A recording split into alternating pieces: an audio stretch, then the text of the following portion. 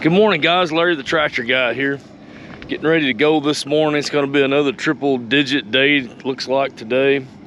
And uh, we got a lot of calls to make today. We're gonna go look at a swather and a baler today that guys having some issues with and some fuel problems with an engine on a swather and then um, also uh, some hay baler problems. So we're gonna go take a look at that. I've got a little 70 John Deere here and I pulled it out the other day. It hadn't been started in a while, and this is where it died. So I don't know. We get home from work this evening. We're gonna see if we can get this 70 started, and um, it may need some points and condenser. I don't know. It's pretty old tractor, but I really like this tractor. It really runs good. Anyway, we're gonna look at that this evening too, see if we can get this tractor going. So we're gonna get out in the field and. Um, we'll see you when we get there. So we're out here at this R450 swather this morning and talking to the customer and he does have uh, verified that he does have low fuel rail pressure codes and so we're going to hook up service advisor real quick. So we did connect service advisor here and verified that we do have good high pressure fuel right now just sitting here running but we did also verify that we had a fuel rail, rail pressure code, which is a 1347.07 code, which is a mismatch between the actual and the desired uh, fuel pressure. And so we're probably gonna monitor this fuel pressure and run this machine out here in the field and see if we can load it up pretty hard and kind of get an idea of um, what our fuel pressure is doing. And then we may end up hooking up a gauge probably and checking our supply low pressure supply over to the high pressure pump. So we're gonna check that out and we'll let you know what our results are. I'm gonna show you real quick. We hooked up a pressure transducer to our low fuel pressure so we could read our low fuel pressure coming from our low fuel pressure pump. And uh, if you can see my digital gauge here, it's reading right around minus one pound. So it's actually trying to pull into a vacuum from the tank. We do have good fuel flow from the tank, but I think our our transfer pump was not supplying enough fuel over to our high pressure pump. So as a result of that, we are getting a actual and desired mismatch there, okay? And but I, what I believe is the problem is our low fuel pressure pump's not putting out enough fuel to keep up. Okay, so we're gonna look into that a little bit deeper um, see what we got and possibly replace the low pressure fuel pump.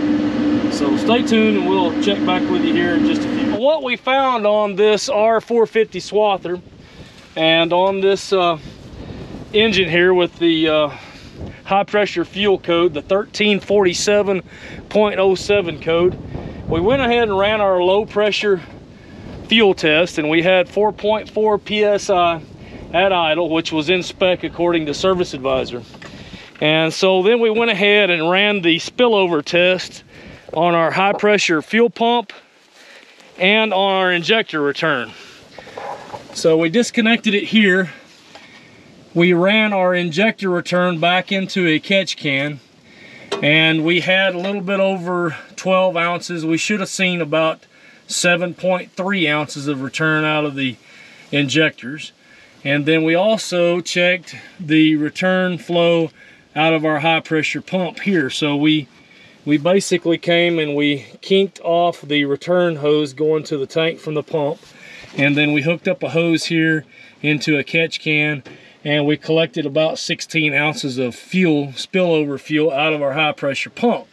And we should have seen about 11.3 ounces of fuel and checking this test at idle for one minute. Okay, so we should have seen 7.3 ounces out of our injectors and we had a substantial more uh, larger amount of fuel out of the injectors and then we should have seen 11 little over 11 ounces out of our high pressure pump at idle for one minute and we had about 16 ounces so I feel like what's going on here is at high idle we're really losing our our low pressure fuel because we don't have enough low pressure fuel to keep up with the high pressure pump because we have too much leak off on our injectors and too much leak off in our pump okay so we're going to go ahead and probably put a set of injectors and a new high pressure pump on this machine and see how it runs.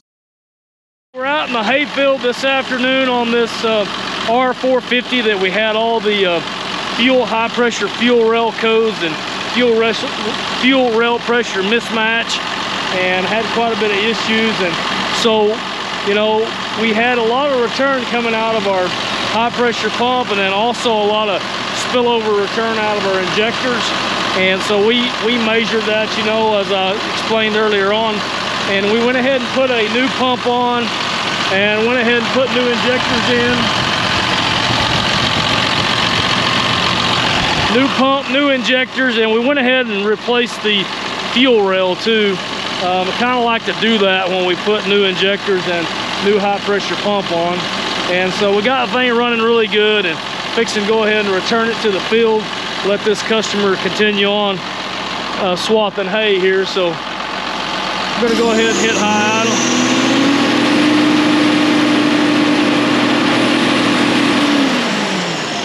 Engine sounds are real good and strong. Fuel pressure's back up to spec. So we're gonna go ahead and get after this after this hay swathing. So hope you enjoyed the video. Thanks for watching. Larry the Tractor Guy signing out. Hey guys, check out Larry the Tractor Guy videos here. Other videos here. Subscribe here. And buy all your John Deere parts here. We'll make it work. I think We're gonna have to make it we'll make it work. Come on, let's go. We need to make you need some bloopers. food. Y'all already, y'all already, gotta y'all already burned me out. Some bloopers. He's sitting in the sun over here, man.